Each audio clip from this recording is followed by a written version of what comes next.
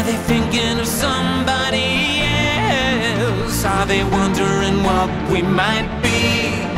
Are they thinking